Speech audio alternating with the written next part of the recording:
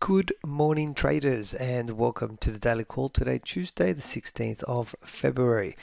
Looking at yesterday's trading session, nothing major to report, no actual data released, not much movement, relatively quiet day, so we'll just jump straight into our chart of the day. Now, the chart uh, that I did look at yesterday was a Euro AUD 4 hour time frame.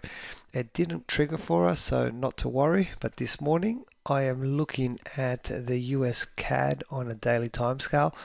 Now, if you actually zoom out of this chart, you can see that it's uh, coming from a downtrend. It basically had two kind of um, supportive uh, levels here where the market's bounced off it. It's come down and now we at a third attempt to break this uh, support in this direction.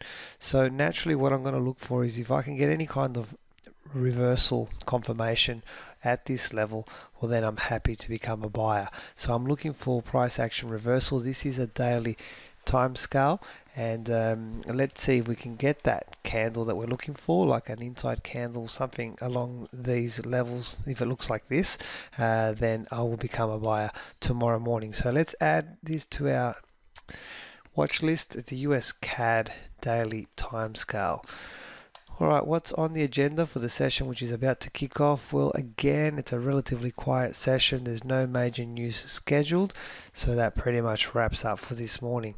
Guys, as always, please feel free to contact us if you do have any questions. You can also follow me on Twitter at ChatFX for trade setups and breaking news. Most importantly, hope you all have a fantastic trading day. I'll speak to you tomorrow for the daily call. Bye for now.